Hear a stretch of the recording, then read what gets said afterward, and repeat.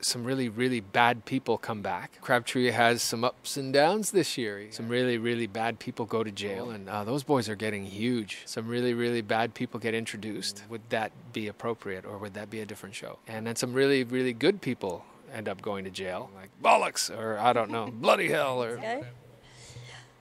Hi guys, so we are back on the set of Mad- Murdoch Mysteries with Mr. Murdoch himself, Detective Murdoch, I should say.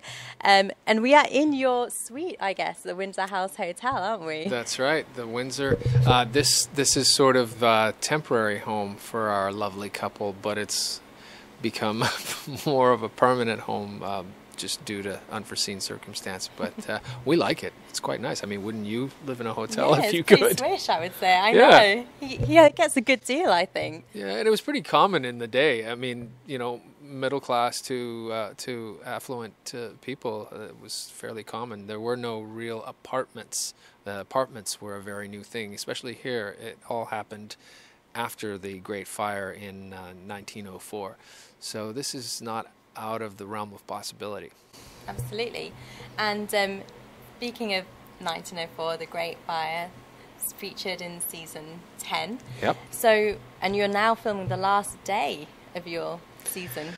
This is it. You guys are here on the last day of season 10, MMX. Yeah. Um, How has it been for you overall as a season?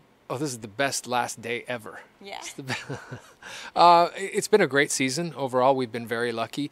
Um, going this late into the calendar is sometimes touchy weather-wise. Um, getting things to line up from location to location, we don't always uh, have the same weather. So uh, we've been very lucky in that regard. Um, but we've had some fantastic guests this year. Our, our scripts were, were so much fun. We had some lighthearted stuff, some intense stuff, and um, our finale is pretty kick ass. It's quite something. So, and we. No one is safe. No one is safe. Not even you? no. Wow. Nope. Wow. I'm worried now. Yeah. They'll call it uh, Aldridge Mers- M- M- Mysteries next year or something. oh my gosh.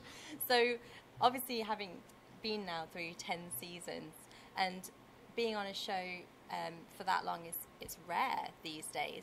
And also, we have to say congratulations to you as well because you've won yet another award for you. that in the ACTRA Toronto Award of Excellence. Oh, yeah, thank you. It, that was a bit of a surprise. Um, you know, as performers, we do what we do. We we we're um, used to rejection. We're used to being fired. We're used to shows just ending abruptly, and uh, you know, for a show to go ten years is is quite something in in any um, genre. It's incredible, and then to be recognized by your peers. I mean, that's uh, that's a great great honor.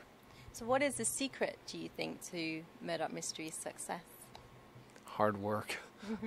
hard work. I mean, everybody here uh, comes prepared to work, and um, you know, we have a lot of great creative minds, and, and everybody's really committed to the show.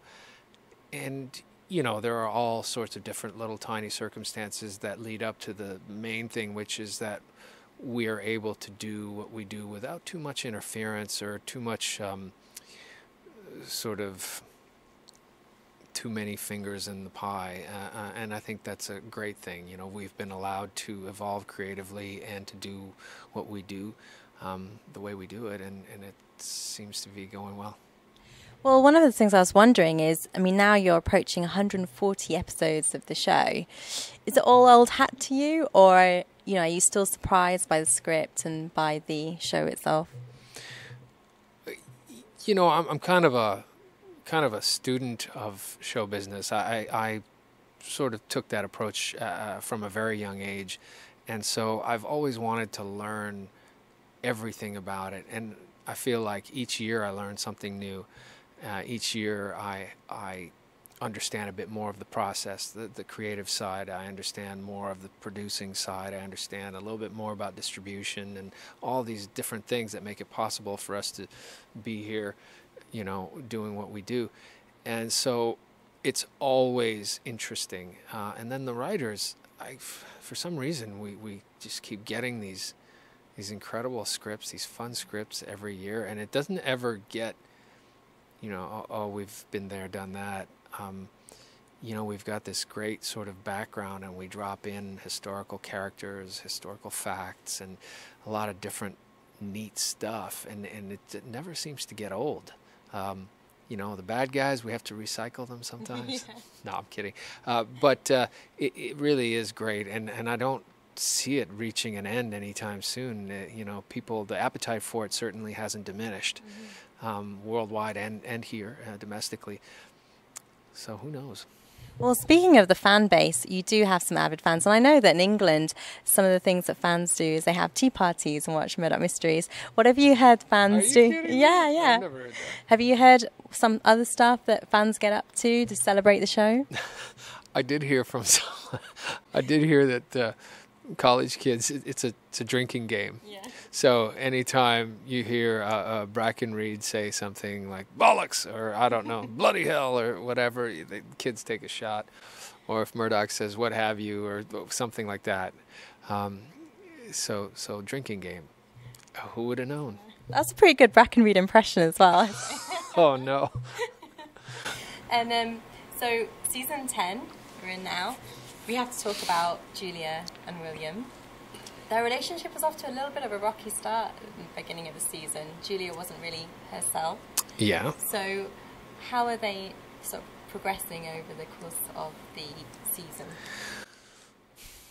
Well, sometimes it's you know it's difficult. Sometimes we sort of maintain status quo. Sometimes you know we deal with certain things. Uh, we we've brought in a potential uh, a child for them, and and we've had to sort of figure out the dynamics when that happens. Uh, also uh, dealing with uh, um, post-traumatic s- stress syndrome, with you know murdering of somebody or something bad happens. I shouldn't probably say who yet. We're a little early in the season still, but um, you know these things shape and, and, and change the relationship. Luckily, I mean we're able to, as actors, have interesting challenges and layers to our characters. But fundamentally, this is a formatted murder mystery show, and we have to sort of wrap up a murder in 42 minutes or whatever it is, and and so we don't get to delve too much into that stuff. And sometimes you sort of wish you could, um, but, But then if it ain't broke, don't fix it. So I don't know. Well, we are wondering when are you actually going to go visit Baby Roland?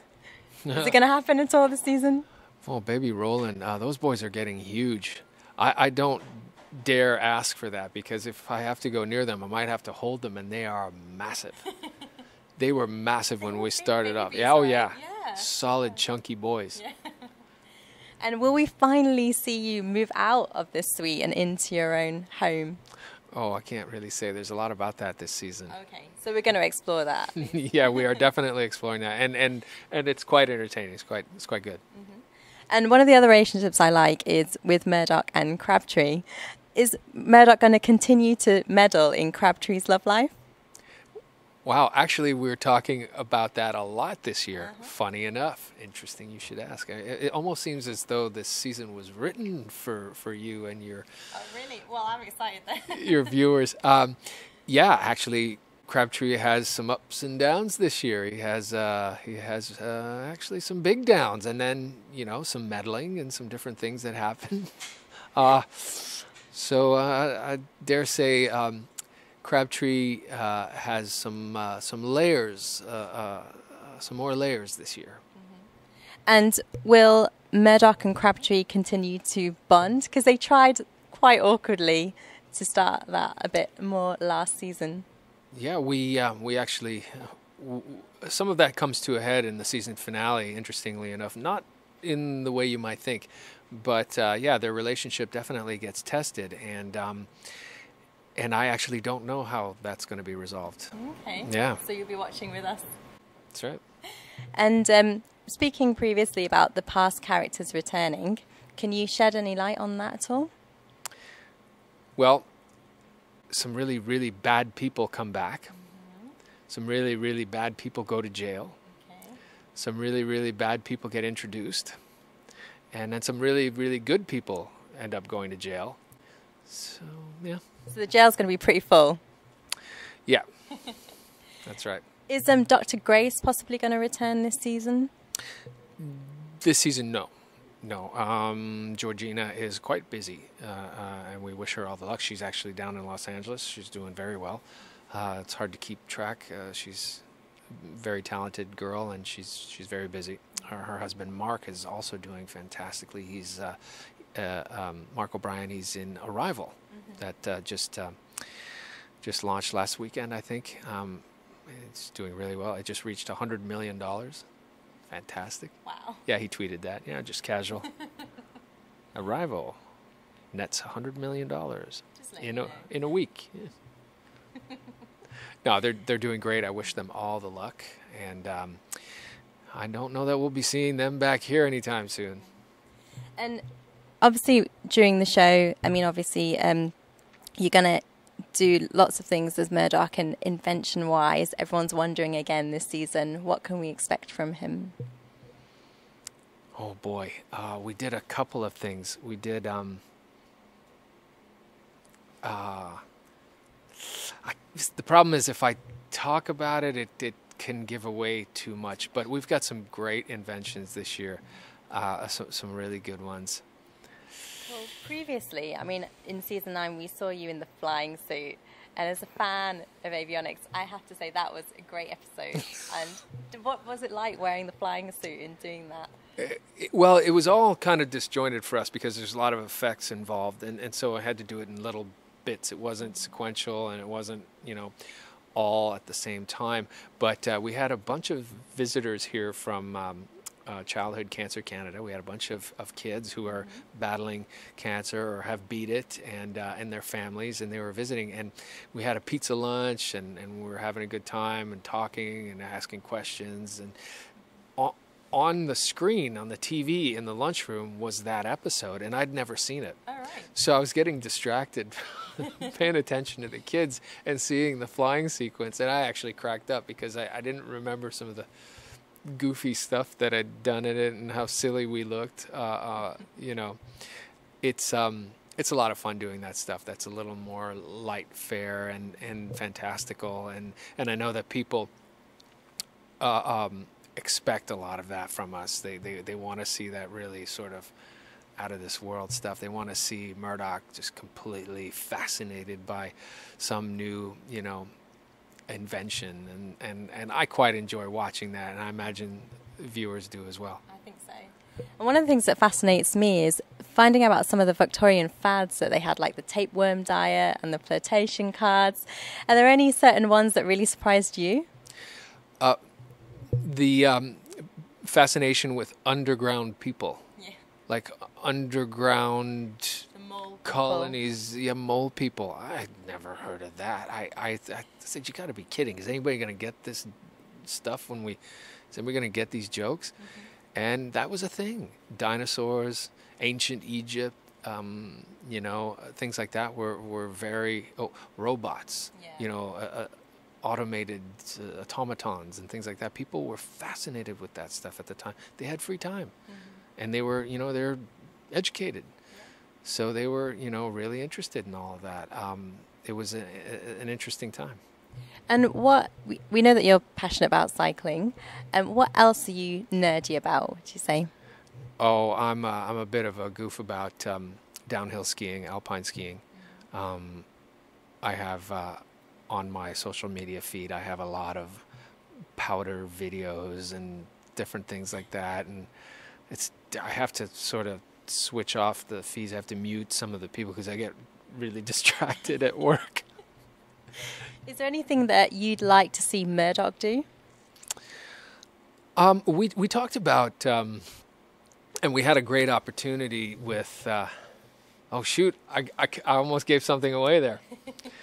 Always. Yeah, we we had a we had an idea about uh, doing some kind of tropical jungle thing, Yeah. uh, which would be a lot of fun. You know, sort of a romancing the stone type of uh, type of thing with like tribal. Indiana Jones. Or, Yeah, yeah, with tribal people, and so that would put us out of our comfort zone, and so it could be an interesting backdrop and an interesting road trip.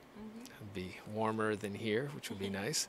Uh, but you know, I don't know. I mean, how, how far do you want to venture from from home? Um, and and what would be acceptable to to the fans. So uh, I I don't know. It'd be Murdoch the Explorer then. Yeah, exactly. And and would that be appropriate, or would that be a different show? I don't know. Um, but you are also doing a special um, in terms of Christmas special and also webisodes this season as well. Can you say anything about those? The the webisodes um, that's something that's different every year. This year they've come up with something very interesting that um, that is going to be centered around the 150th anniversary of Canada, which is like a 150 is like nothing to you guys, whatever. Uh, it's a big deal to us. Um, and so they're going to be sort of shooting it with that theme in mind. Um, I don't know a whole lot more about it uh, besides that. Um, but we do have the, the holiday special this year, which we have shot already, and, and that was a hoot. Um, got to do some really fun stuff with that. We have some very cool and different effects, and um, they've sort of done a little bit of a mashup uh, uh, there again and, and put some some traditional stories and crossed them, and created this fairy tale holiday hybrid thing that's uh, a little bit of sci-fi. It's, it's kind of fun. Awesome. And um, speaking of Christmas, do you have any Christmas traditions in your home? Yes, we actually we we watch Love Actually as Aww. a family. We do. That's a good Christmas movie. Absolutely, yeah. we love it. And it's the last day of filming today. It's your wrap party tomorrow, and given it's now your tenth wrap party, do you have you developed any wrap party traditions? Uh, well, I've found out we, we typically have a um, a blooper reel or a wrap reel, and then we play it at the party. But I've just found out today that it's going to be a 10 season wrap reel. Wow. So there's going to be bloopers and highlights from all 10 seasons. Uh, that is, you know, get everybody boozed up in one place and play that. It is going to be a hoot. Can't wait. Wow. I can't wait. Um, so the fans always love to hear about the bloopers. So can you give us any from this season? Oh, lots, lots. Uh, uh, you know what? We had one. we had one year. It was an episode I was directing, and we had this guy cross through the frame with a horse. He was just leading a horse through. The, it was just a random thing, and this horse went by us, and literally right when it went by us, it let out the most horrendous fart. and we laughed, and everybody broke up, and it was ah ha ha, very funny. So we did the scene again. The horse let one go in the exact same place a second time. It was unbelievable. You think animals are dumb sometimes, but sometimes they are very smart, and that's that's on the reel. Amazing. Um, so we're going to let you go and finish your last day, but very quickly, um, who is your favourite Murdoch villain? Oh, I, would say James Gillies is is definitely a very dislikable guy, uh, very easy to to hate. Um, favorite good guy was uh, Bat Masterson, yeah. played by uh, Stephen Ogg. Um, Mark Twain, uh, played by Bill Shatner. Uh, and then, uh, interestingly enough, we have a little bit of bad guy action in our finale this year that uh, really takes it to another level. so I'm looking forward to seeing people's reaction to that. And any season 11 news at all? Uh, season 11 is one after 10.